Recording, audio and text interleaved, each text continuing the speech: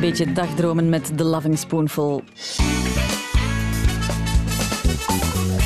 En dagdromen is nog zo dubbel zo fijn in de zon.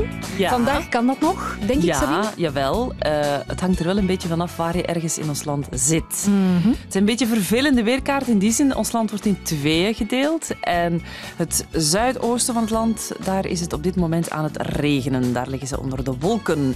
Nu, die regenzone die gaat daar wel blijven treuzelen. Die komt niet naar het noordwesten, die komt niet naar Vlaanderen. Daar zal het droog blijven en eh, daar kan de zon eh, ook nog schijnen. En als er wolken zijn, zijn dat dikwijls hoge wolken. Dus de zon wordt wat gesluierd, maar kan er toch nog min of meer doorheen schijnen. Met temperaturen boven 20 graden van namiddag, 22, 23, misschien wel 24 graden. Dus Dat is oké, maar goed. Ja, ik heb ook eens een, een vrij weekend. Ja, ja, ja, ja, ja. Tot morgen, Sabine. Jawel. Vakantiepech?